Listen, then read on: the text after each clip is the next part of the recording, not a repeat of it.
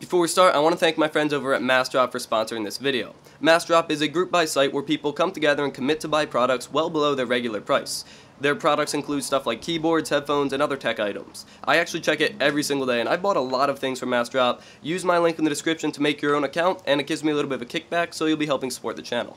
So this is my beginner's guide on the CPU, the processor, the brains of the computer. I won't be doing an overclocking guide. I will talk about overclocking, but if you want a guide, an up-to-date and good, like comprehensible guide, go check out Linus Tech Tips. He did a fantastic overclocking guide just a few days ago, so go check him out. So this is the Intel Pentium G3258 CPU, and it's a pretty big deal, and I'll get to explaining why by the end of this video. So let's start from the very beginning. There's two major manufacturers of CPUs. We have Intel and AMD, and they each have their different socket types. For Intel, it's something like LGA 1150 or LGA 2011, and then for AMD, it's something like AM3 Plus, Plus, or FM2, or something like that. So what's the difference between Intel and AMD? Well, other than AMD having the pins on the CPU and then Intel having the pins on the motherboard, the main difference is architecture. And architecture is a tough topic to explain. If you don't know anything about CPUs at all, the best way I can explain it is like a city. Good architecture is an advanced city with a vast road network where you can get from one place to another really quickly and everything works efficiently. Bad architecture would be a city with a lot of broken roads or not good road networks, so if you wanted to get from one place to another, it would take a while and very little work gets done.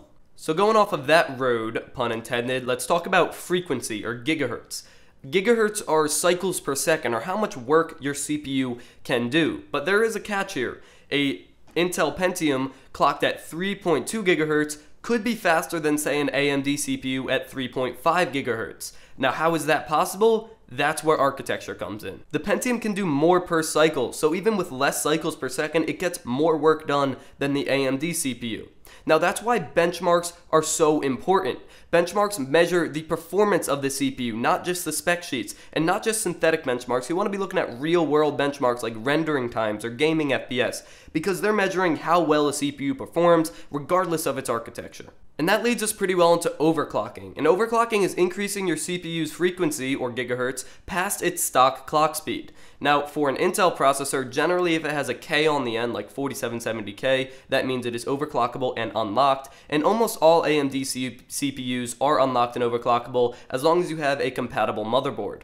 And that is why this Pentium is so special because this is the first Pentium to be unlocked and overclockable. Even though it doesn't have a K at the end of its G3258, it is overclockable so you can raise that 3.2 gigahertz up to something like 4.0 gigahertz or maybe even faster.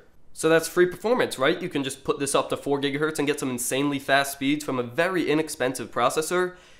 There is definitely a catch with overclocking. With higher clock speeds and when the CPU is running faster, it's running hotter and you need more efficient and more powerful cooling to cool down that CPU and it's less stable. You need adequate parts like your motherboard that can run it at that frequency and you need to make sure that everything is working together and it's stable and you're not crashing at all. So if you're not overclocking your CPU is fast enough, just use a stock cooler or maybe a cheap $30 cooler to uh, keep things quiet in your case and you'll be good to go. But if you do want to overclock, get that extra performance, you will need a better cooler so you can cool down the CPU and keep it stable in your system. But let's get one thing straight. For most cases, the CPU speed is not as important as it may have once been. In gaming, GPU speed and the GPU raw horsepower is much more important for getting more FPS. A 4670K or say like an FX 8350 is the most you will ever need for a gaming machine and then just spend the rest of the money on the GPU and you will get much better results. If you're not even gaming, an Intel i3, maybe even a Pentium, or like an FX 6300 is the most you will ever need if you're not gaming. And then if you're like editing or you're rendering or doing something more intensive, you can look in towards the i7 range or maybe a Xeon if you really know what you're doing. So that about wraps up my guide on the CPU in your PC beginner's guide that I'm kind of doing over time. If you have any questions or if I didn't answer anything, go ahead and ask them in the comments. I will be down there to help and so will everybody else that has knowledge on the subject. But other than that, guys, thank you so much for watching. Subscribe if you want to see more content. Go ahead and leave a like, and stay classy.